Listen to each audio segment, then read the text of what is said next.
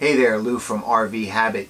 Today I have a King Falcon Wi-Fi set for my RV and what's cool about it is it comes with a Wi-Fi Max router and it comes with a Yagi type directional antenna that goes on the roof instead of an omnidirectional antenna. But what's truly amazing about this one is it is completely automatic.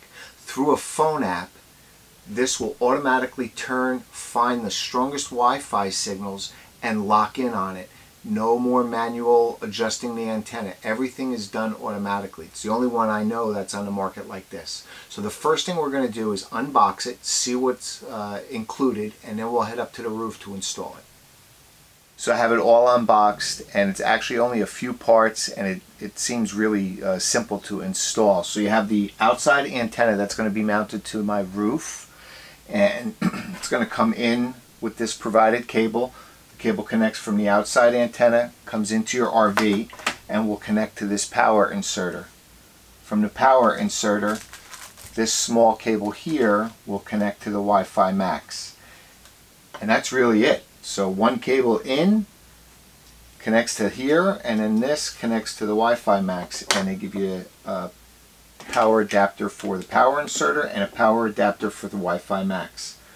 Seems really simple. So first thing is I'm going to get up on that roof and see where this fits best. Now remember when you put this up, this turns by itself. So you're going to have to give it enough room that when it turns it doesn't hit any other objects on the roof. So we're on the roof and this is my refrigerator vent. And if you've seen any of my other videos, I love to use this as a chaseway into the RV. And that's just what I've done here with the included antenna wire. Taking this off, I'll spare you the details of how I did it, but I just used this as a chaseway to get into my utility closet inside. Now, I will say you have to do some prior planning here. You're gonna lay out everything before if you have to drill holes because it appears there's only 11 feet of cable that they give you and that includes what you're going to need inside to get to the power inserter. So there's some layout that's going to need to be done. It is clearly marked. There's two different ends on this antenna wire. The red one is goes to the roof and it actually has a sticker on it that says roof and the black one goes inside so you're running it in the right direction. Now, this is all I have left. I'm going to figure out exactly where I can fit this on my roof as real estate up here is at a premium with the air conditioner, satellite, and some other things. So we'll do that and then we'll uh, we'll switch spaces and get this antenna installed.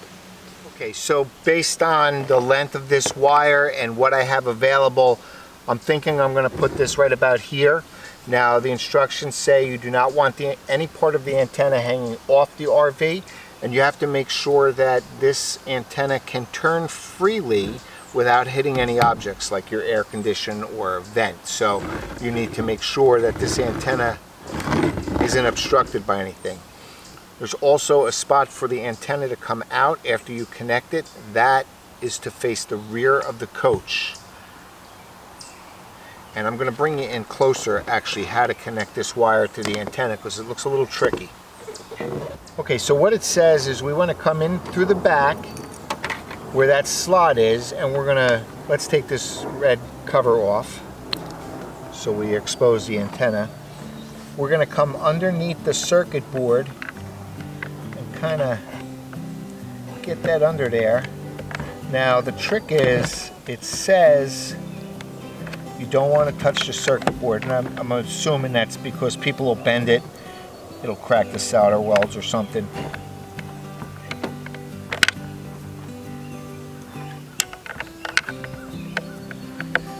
And once you get it through here, there we go. Now, we're going to come around and it's got to make a bend, as you can see, to get onto that antenna.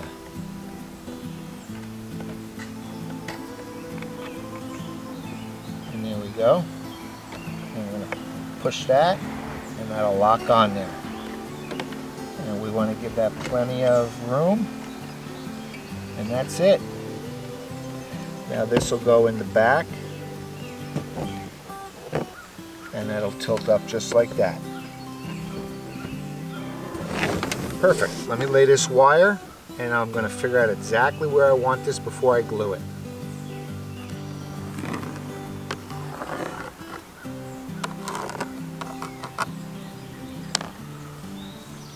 So I, I, figured this is the best place for this. Uh, this does not overhang the RV like they said and it has enough room to turn 360 degrees without hitting any obstructions like the uh, roof air condition. So I've traced an outline so I know where to put it back down. Now what I'm going to do is just flip it over and it says to put a bead of roof sealant around the entire base. Now if anybody's ever worked with Dicor, they know this is a messy, messy proposition. So I'm going to slowly do this. Probably put it in here between my legs. And then we'll flip it over and put it on there.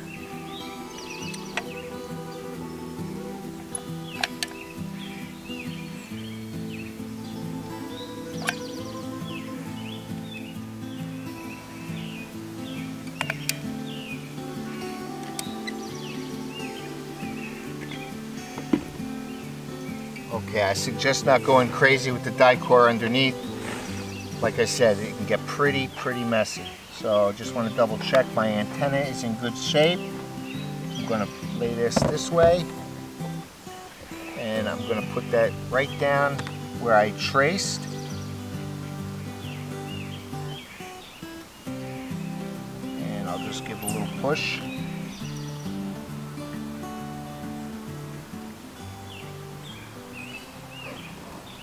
And now we're going to screw it down.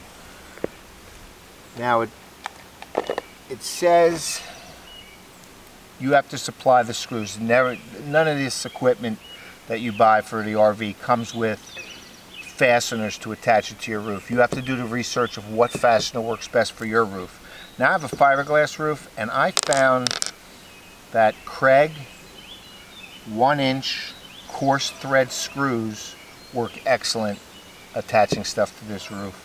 So that's what I'm going to use, a square tip Kreg coarse thread screw. It's one inch.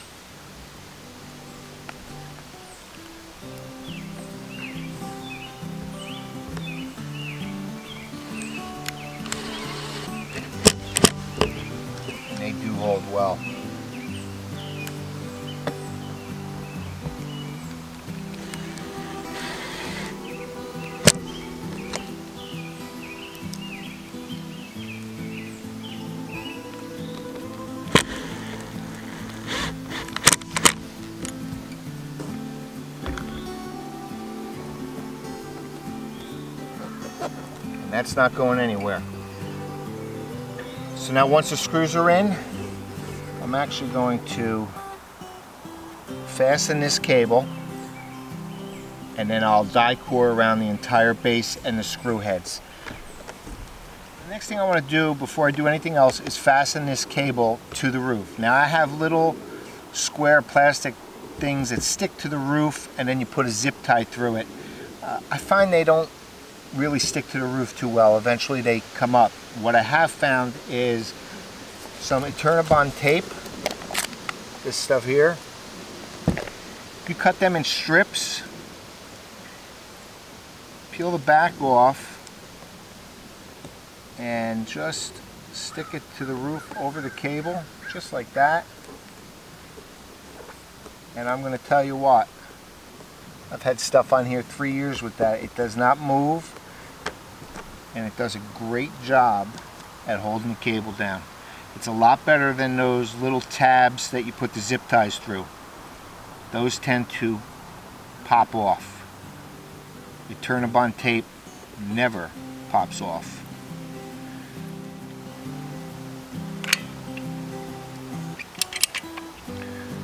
So that's it.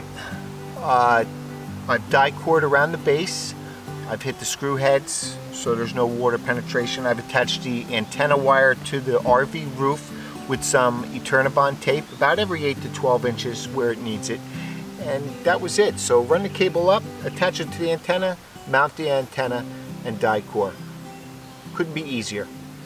going to clean up this mess up here and we'll go down, we'll make the connections below. So what we're looking at in here is my utility closet. This is behind the radio. Yes, don't let the wires give you chest pains.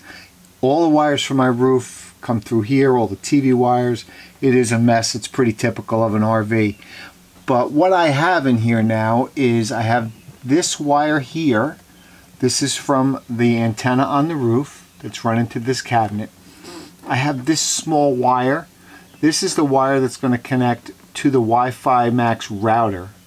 And then I have this wire. That's the power wire for the power inserter. So here's the power inserter. I've labeled it. And the antenna connections are different, so you can't confuse them. So one end goes there. And then take the cover off this. And we'll attach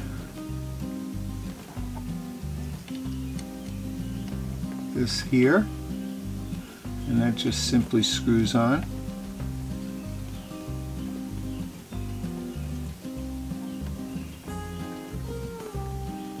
hand tight only, don't use a wrench. And then the power's not connected yet, but we're going to plug in where the power goes. And that's it. And we'll let that sit back here.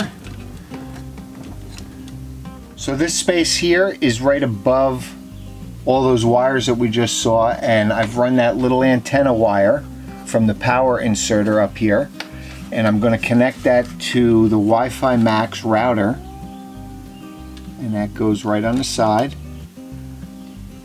Just screw it on. Again hand tight do not use a wrench. And then again it's not plugged in but this is going to be the power wire for the router so that's all done we'll run the wires in here and get this connected up.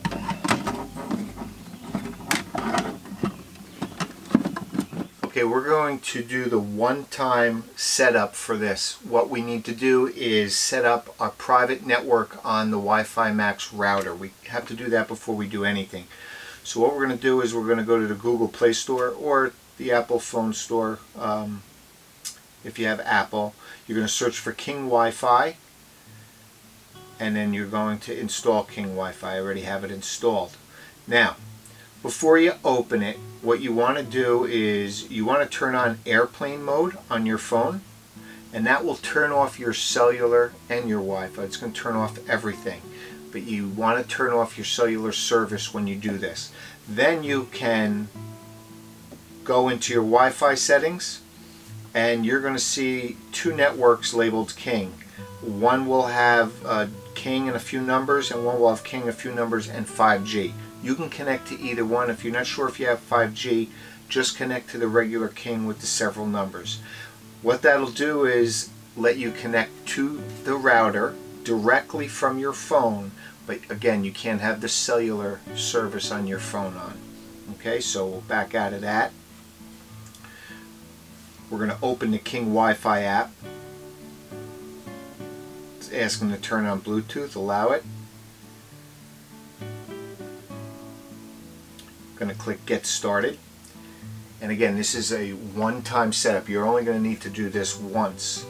What we're going to do is name our router uh, with a network name we want and give it a password. So it says Wi-Fi Max Setup. Please configure your Wi-Fi Max network name. We'll click OK.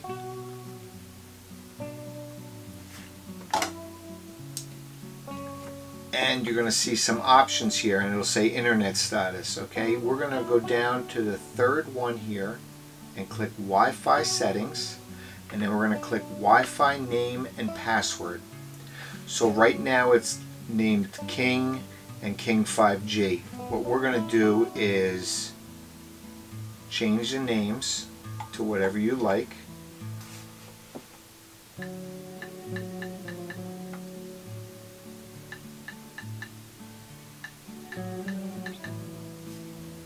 encryption, you're going to choose the one that's recommended, WPA, WPA2, PSK, and then you're going to type in a password.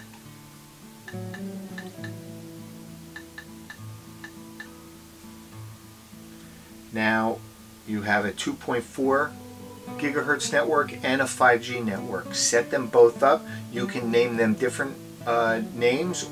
You could use the same password, it doesn't matter. But what you want to do is you do want to leave 5G on there so you can identify it.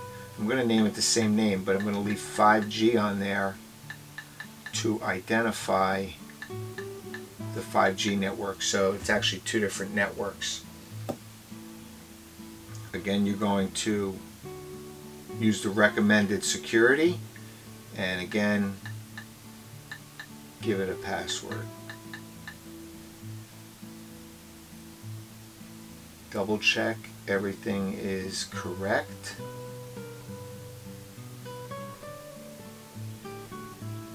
And click Save.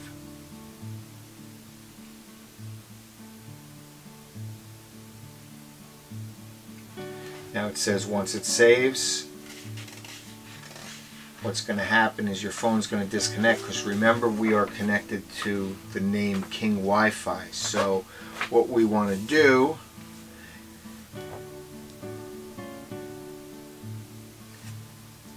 is go back out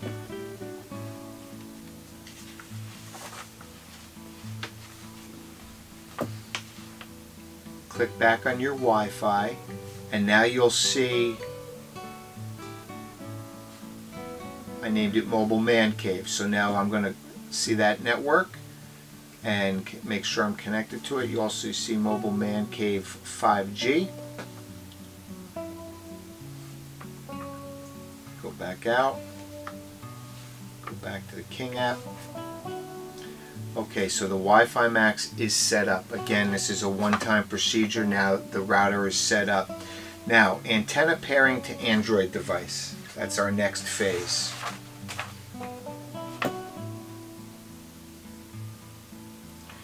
And as you can see, it looks and it's saying one device found. It shows KSA 01874. Now, if you had more than one showing, you're picking up another King Falcon antenna, which is highly unlikely, but if that's the case, that number is actually on the antenna. So I'm going to click on that so we can connect to it. And it says enter your four digit pin. Now the default pin is 0000. And on the next screen, it will give you an opportunity to change it. I don't want to change it. I'm going to hit cancel. Antenna pairing to Android device is set up. So that's the initial setup and installation. You do not have to do that setup every time. Now the Wi-Fi Max router is set up. The King antenna is uh, linked to your phone and you could link it to your phone, you, your tablet, your uh, laptop, anything you want. It links by Bluetooth. Just remember that uh, you can only have one device connected to the King Falcon antenna at a time. So if you're using your tablet, you can't have it try and link your phone to it at the same time. Now the Wi-Fi Max, that runs off Wi-Fi and uh, that's going to have your personal network. And if you're using any public network, especially a campground network, you want to have a personal router in your RV that all your devices connect to your personal router, not that each device has to connect to the Wi-Fi at the campground.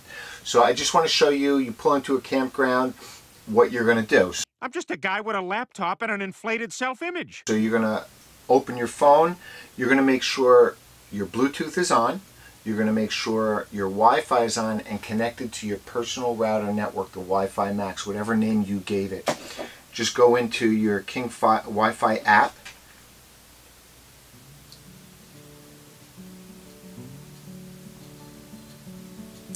and it's connected and it'll show you no network connected. You're going to click scan.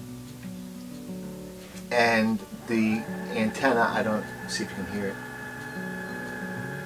It's actually doing a 360 degree rotation and it's looking for all available networks every couple inches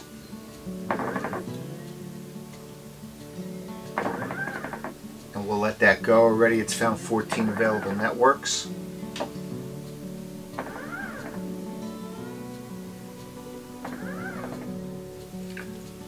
Okay, it just stopped uh, turning and as you can see on the phone here it says select the internet you would like to use. So it found, I, I think it said 18 networks available to me. I'm going to click OK and it's going to show you all the available networks. Now just remember, you'll see at the top it says Mobile Man Cave. That is the personal network that I have set up on the Wi-Fi Max in this RV. You don't want to pick that that doesn't have internet that's going to have internet to what we connect to. So it's always going to show you your your router's name because it's actually transmitting. So you want to go and you can pick any of these that are available. I'm going to click on this one. It's going to remember where it found that network and it's turning the antenna towards that network. And it'll zero in exactly in the best spot for reception. And once it does, this arrow here is going to turn green with a check mark. There it is. And I'm going to click done. Click continue. And when you get back to the main screen, it's going to show you that the King Falcon's connected to that network. You click these three dots in the upper right hand corner. King Wi-Fi Max setup. Now we just want to tell the router to use that network. So we go to the third option below and it's uh, Wi-Fi setup and you go to wireless repeating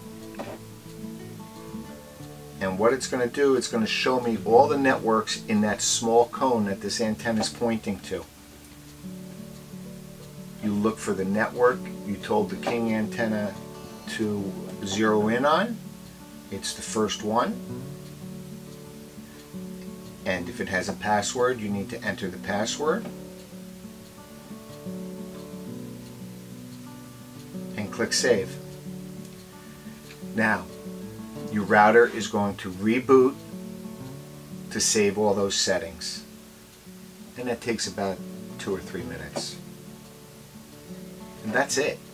So the router will reboot.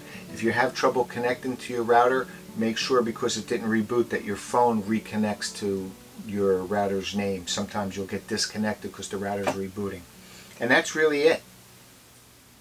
So pros and cons uh, just a few of each. And again, I've only played with it a week, but uh, two of the big cons I had was they only give you 11 feet of cable to go from the power inserter to the King Falcon antenna on the roof. Uh, I would have appreciated maybe like 14 feet, give you a little bit more options. 11 feet is somewhat restricting to where you're going to be able to mount this uh, and have enough cable to come into the power inserter. Also the, the antenna that goes from the power inserter to the Wi-Fi Max, that's only two feet. Three feet would have been better. And uh, the other con, which is probably the biggest con, is it uses 110 uh, electricity, converts it to 12 volt and 9 volt to power the power inserter and the Wi-Fi Max. This for an RV really should have 12 volt plugs that you can just plug in either to a USB or to a cigarette lighter adapter. Uh, that's definitely uh, a con. Now I have satellite TV, my TV's 12 volt, everything's 12 volt except my uh, satellite receiver and I use a small inverter in that so actually I plugged in the Wi-Fi Max to the power in inverter. Um, but those are really the only two cons I have so far about this system. Uh, pros, installation, a breeze. I mean, it, it could not be easier. The hardest part, as always, is getting the antenna cable from the roof into the RV. I always use the Chaseway in my refrigerator because I have a utility closet right next to it where I keep all my electronics. So that is super, super easy for me. Um, pros, now the Wi-Fi Max, the router, it's phenomenal. I, I had another router in here and the Wi-Fi Max blows it away. What's nice about it is it transmits in 2.4 gigahertz and 5 gigahertz. And I did some speed tests and the 5 gigahertz is at least always twice as fast. Now what's nice about that is I have Fire Stick on this on this television. I can connect this to the 5 gigahertz and get the faster speeds. Um, I, I tend not to use 5 gigahertz if I'm on my phone because when you're outside the, the RV sometimes you'll have a hard time reception. 5 gigahertz does not travel through walls well so I always use the main 2.4 gigahertz and you really don't need anything faster on your phone. Uh, now the Yagi type antenna is phenomenal. It really goes out there. I I tried some different uh, Wi-Fi locations that I know are pretty far out there and it does do really well. If you don't want a directional antenna, they do sell an omnidirectional antenna called the Swift uh, but that doesn't go out as far. That just kind of does a cone in a circle. Uh, this type Yagi is really um, zeroes in and can go a far distance to pick up the Wi-Fi signal. And it picks up a good strong signal which means you're getting good speeds. Now you're never going to get a faster speed than the Wi-Fi that you're picking up is transmitting. If it transmits at 50 megabytes per second, that's all you're going to get ever. You're not going to. It's not going to increase the speed. Um, but the true pro of this is it's automatic. I mean, you go on your phone, you've seen it, it literally takes five minutes. It does it all automatically, zeroes in on, on a Wi-Fi signal, you select it, and you're done. Uh, I just, it's amazing. I mean, usually if you have to have a Yagi antenna, first you have to know where the Wi-Fi is being transmitted, and then you have to play around with it to get the best signal manually. This does it all automatically, can't be beat. Uh, I'll test it for a little bit longer, but as I've said, I've used it for about a week so far, and it's worked phenomenal. Um, and again, if you're using Wi-Fi in your RV, you should at least have the Wi-Fi Max or another type router that has a personal network that's secure. So you, you don't want to go to a campground and every single device you use on Wi-Fi has to connect to the campground Wi-Fi. You want to have one device, like my Fire Stick, it's always connected to the Wi-Fi Max, no matter where I'm getting the internet from. So other than that, uh, I appreciate you watching. Don't forget to subscribe. If you like this video, give me a thumbs up, and I'll see you soon.